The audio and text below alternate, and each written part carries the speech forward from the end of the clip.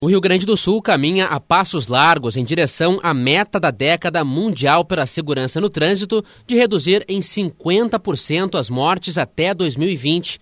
Nos primeiros cinco anos, o Estado reduziu em 20% o número de vítimas fatais.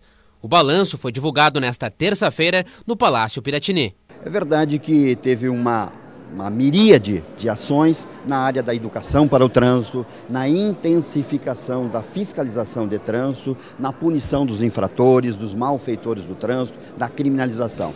E esses resultados são bem positivos.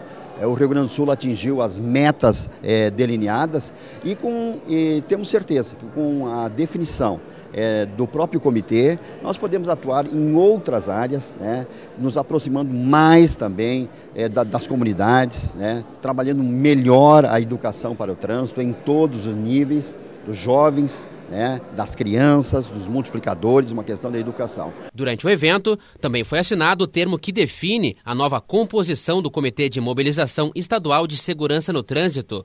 O núcleo integra as ações da década entre os órgãos do Estado e outros setores da sociedade. A constituição desse conselho, acredito eu, é uma maneira muito positiva de nós repartirmos tudo isso com toda a sociedade que espera de nós atitudes grandiosas e atitudes firmes e corajosas, porque uma vida é uma vida.